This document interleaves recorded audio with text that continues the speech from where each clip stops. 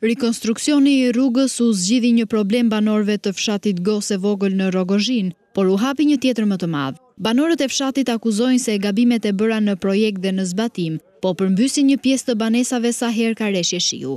Ka hipur ujë këtu sipër, vjen nga fqinja matanë nga gardhi, Shpërthen nga rruga komplet edhe zbarkon e gjithë këtu. Sipas tyre shkak kryesor është bërë përdorimi i tombinove të ngushta, që nuk përballojnë prurjet në pikën ku kanalizohen ujërat e përrenjve malorë. Janë shumë tubat e vogla, kurse problemi ma i madh kryesori këtu, këtu do urë, do urë këtu, nuk majnë këta tubat.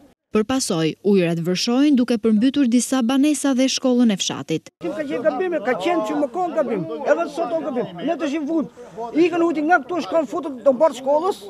Banorët e Gosës së Vogël, kërkojnë nga Bashkia e Rrogozhinës, të ndërhyjë për t'i dhënë zgjidhje sa më parë këtij problemi, që po ua bën të vështirë jetesën gjatë muajve me reshje.